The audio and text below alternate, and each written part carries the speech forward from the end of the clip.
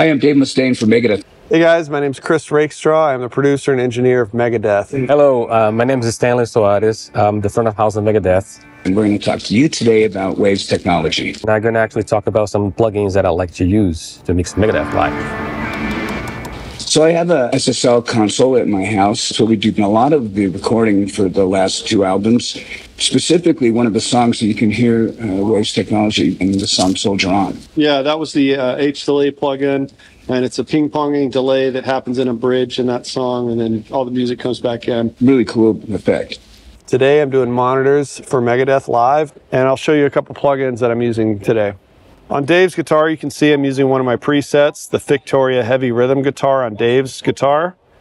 Uh, I'm familiar with this plugin from using it in studios for a long time, so it's really easy to get a good sound with equipment that I'm used to. And the EV2 sounds amazing. Really proud of that plugin.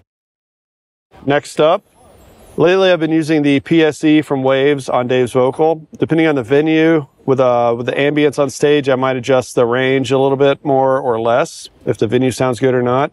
And oftentimes I'll measure the snare with a laser ruler and adjust my ducking for the distance. Another plugin that's extremely important when working with Dave is the F6 on his vocals. This allows me to control the low end proximity from the microphone and cut out some mid range. And you can see I'm barely boosting any high because Dave sounds good anyway.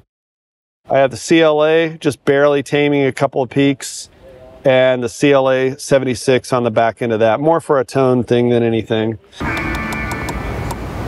I have in my master bus two of my favorite ones. Um, the SSL bus compressor, which is here in front of me, and also a little bit of like a L2, but I'm not doing much to be honest, just to keep like, you know, the ceiling, you know, in check.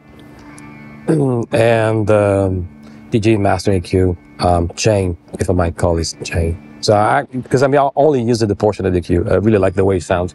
It's super silk, smooth, and it, it does add something like a, you know, flavor to the, to the mix.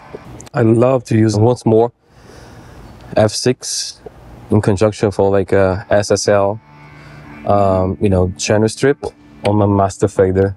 Here is a little bit of my guitar chain, which um, I'm used for Dave's guitar. It is like a a sort of like a emulator from like uh, some consoles. Like you know, I think if I'm not mistaken, this does like SSL. Uh, I think this is EMI, and this one is Neve, something like that. So I use this one to get the signal first, and then I use the F6 to kind of grab some of the areas that sometimes poke a little bit, and this lovely EQ here for doing some shaping. We've been using this software for such a long time that it's almost normal to think about it being part of our rig, and it's abnormal not to have it. It's 100%.